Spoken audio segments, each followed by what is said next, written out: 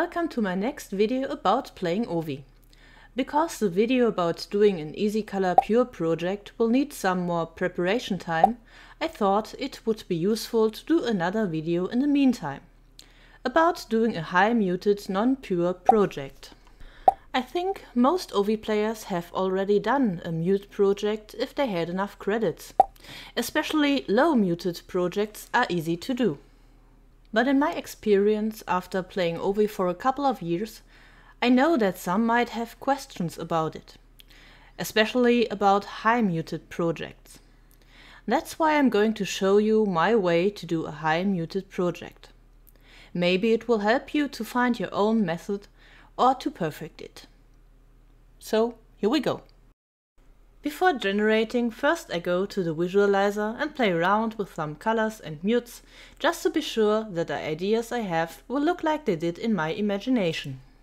When you are trying different species and mutes, remember that there are species you can only generate at a special time of the year.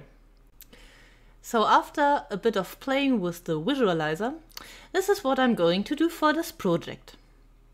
A 11V Hyena project I could add some more mutes, but I think that would look too messy.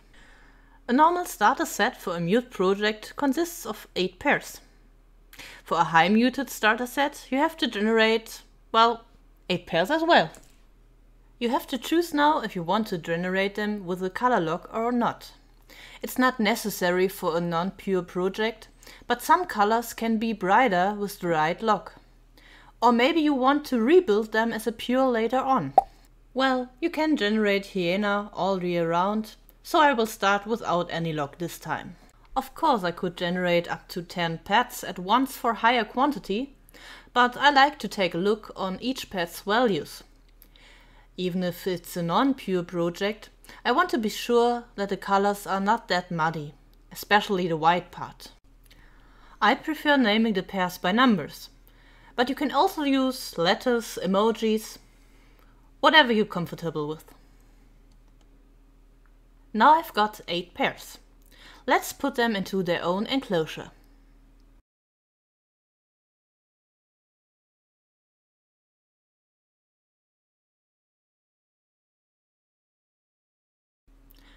And I also add 4 random pets to separate the next hatched pets visually from the generated ones. Now let's do the first breeding and the first mutation.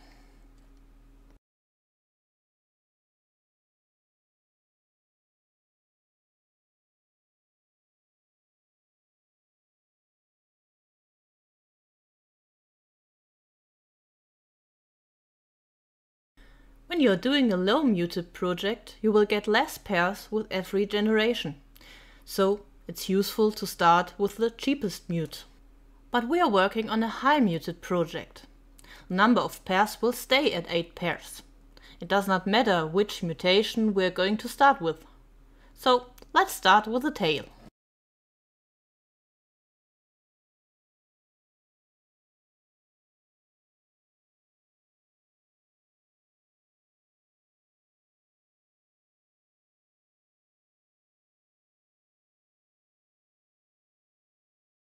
Now we have to wait until they hatch. Now name the pets after the breeding pair and put them into the project tab.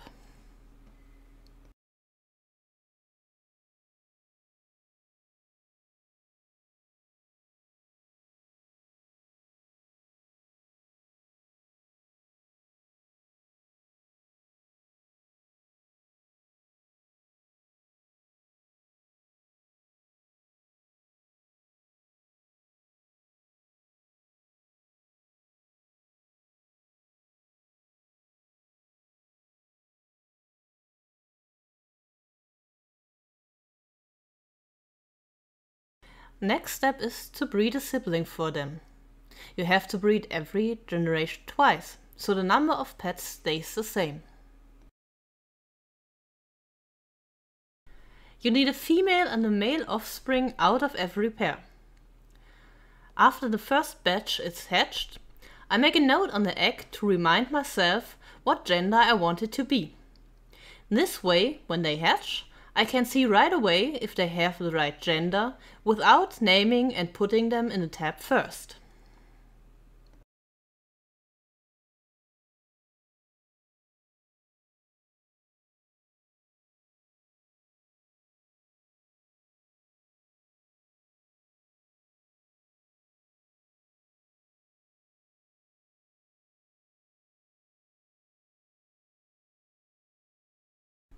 Then splice them again. If you are splicing very expensive mutes, it might be good to do a DNA profile first. The profile costs 10 Cs, but some mutations are 20 Cs and more. It's a bit of a lottery. Maybe you will DNA profile a pet to find out its gender, and when it's the right gender, you spend 10 Cs more on it. Maybe it has the wrong gender and you save the money for the expensive mute and just spend 10 Cs for the profile instead. Depending on how many gender fails you get, it can be cheaper to profile the egg first, but you don't have to. Now we're waiting for the eggs to hatch again. Let's see if we got the right genders.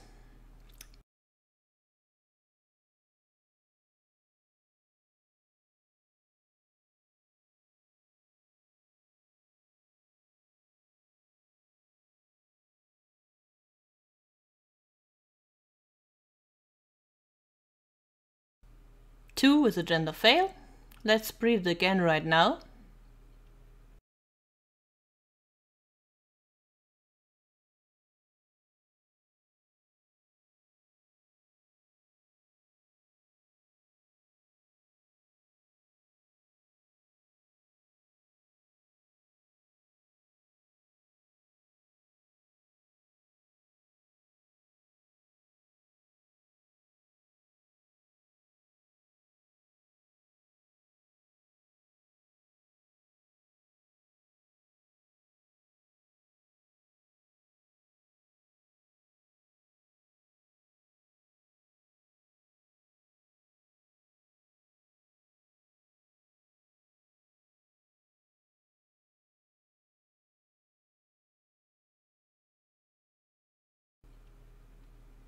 Also number six.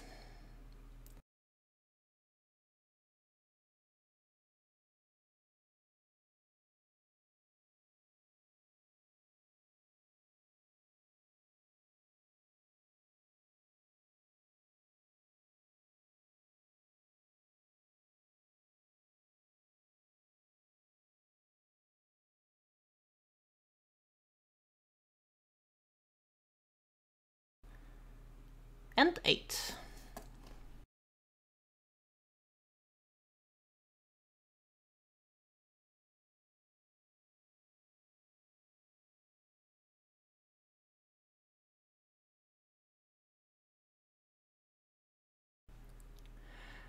So we sort the ones with right genders into the project tab, don't forget to splice a new X, and wait for the next hatching.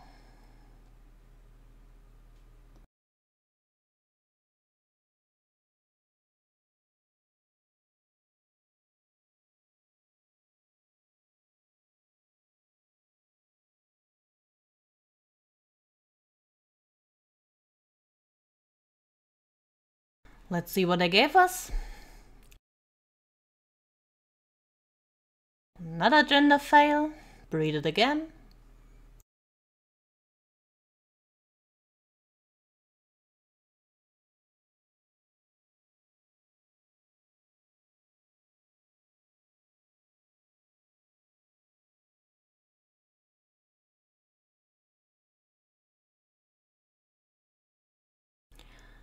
This is right. Put it into the tab.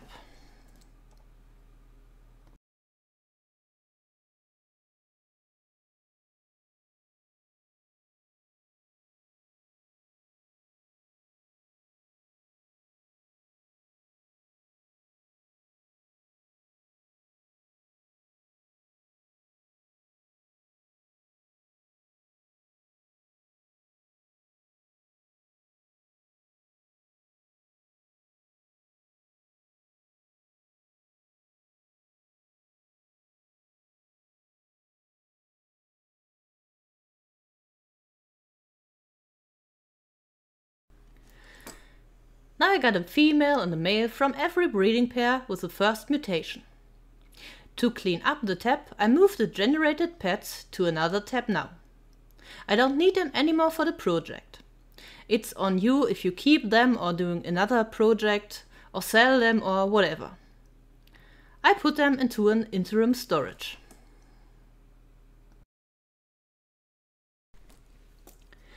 Next step, before adding the next mutation, is to put together new pairs. Just check which pairs can breed with each other to be sure. So one can breed with two. Let's put them together as a new pair. Important, always put together the male and the female with mates with the same number. So if I put together the female one with the male 2, I also put together the male one with the female 2.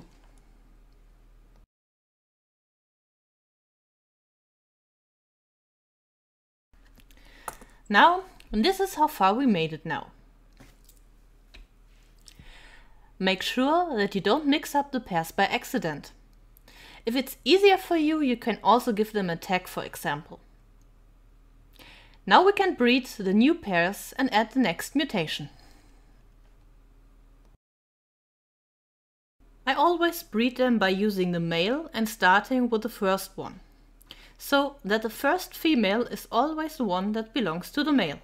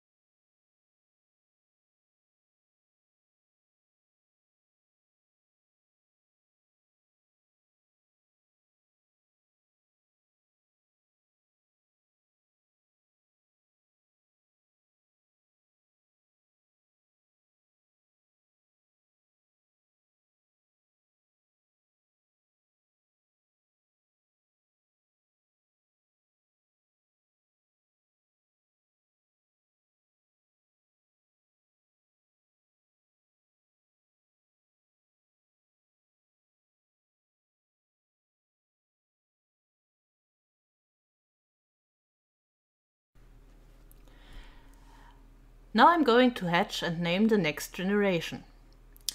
This is the first generation in this project where the parents don't have the same name anymore. In the past I named them with the numbers of both parents, so this pet would have the name 1, 2. But naming them with all numbers of the parents can be really nasty, because with every generation there are more numbers. Next generation would have 4, and the next generation would have eight. I'm a bit too lazy to name them like that. Also, it looks a bit confusing to me. So I will only name every egg like the female before was named. This pet's mother has number 1, so I name it with 1,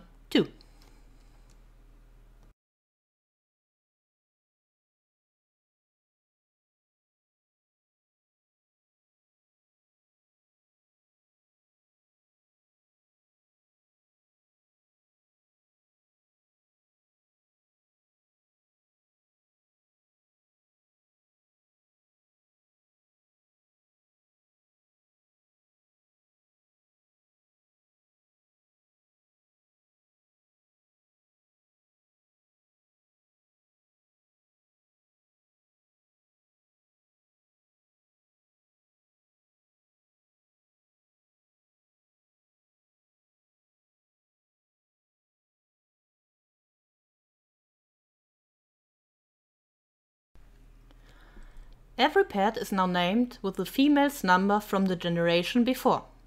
And I will do that the whole project, so every pet always will have only one number as its name.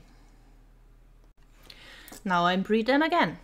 I need the opposite gender from every pair, and I breed them again always starting with a male, so I don't have to remember which female belongs to which male because they are in the right order. And splice them with the same mute.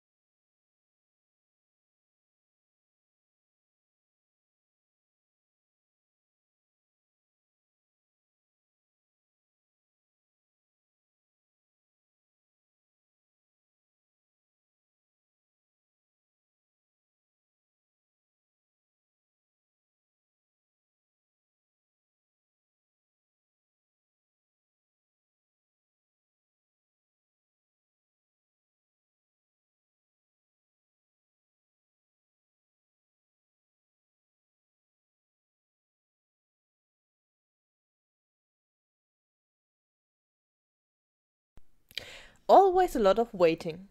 If you want to reduce the waiting time, you can rebreed the pairs that need another offspring right away after the cooldown. But do not splice the eggs right away.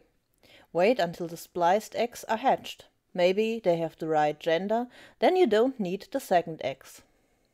That is for example a good idea when there are limited mutes and you have to hurry.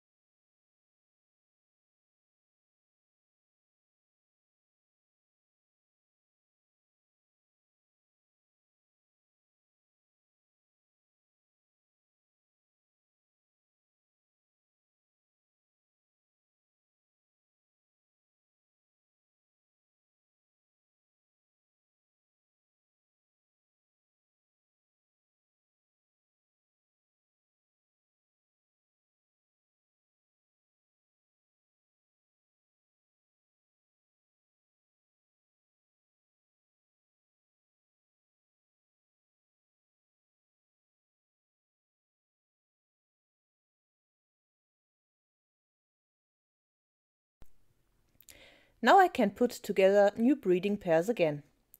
This time it's not breeding 1 plus 2 anymore, they are now related, so the numbers that can breed together will change with every generation.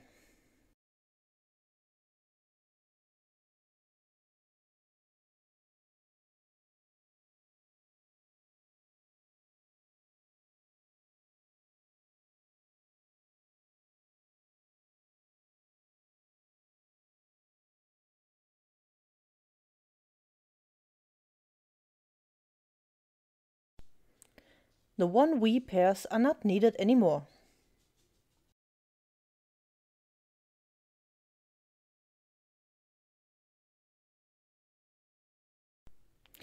And now we can add the next mutation. Let's go on with the ears.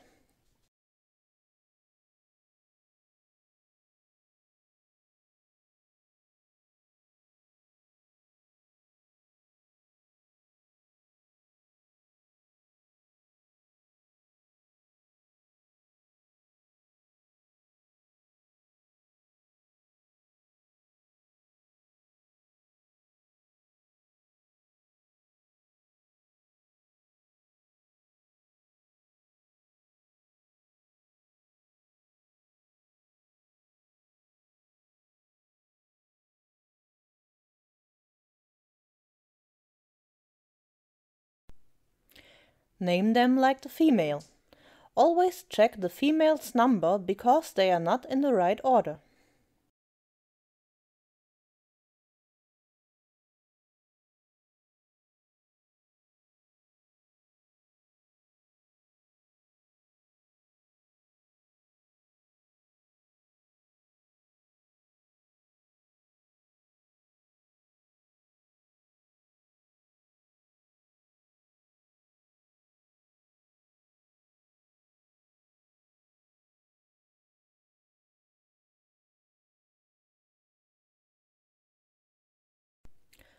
Now breed them until you have both genders from all pairs. Now again, put the last generation into the interim storage or wherever.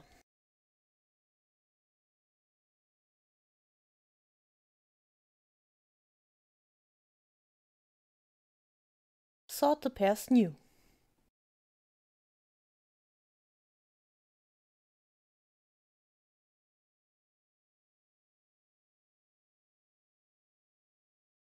Breed them, add a mutation, head this time. Breed them until you have both genders and repeat until all the mutes you wanted are done.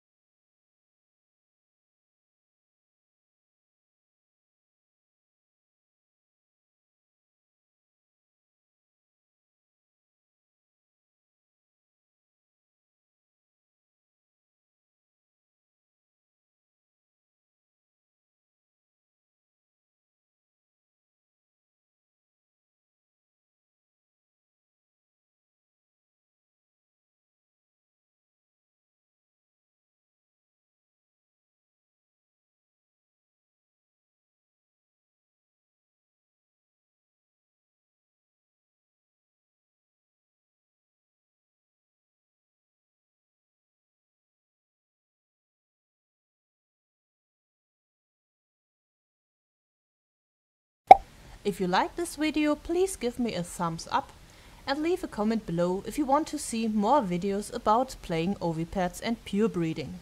Thank you for watching. If you still have any questions, feel free to PM me on Ovi.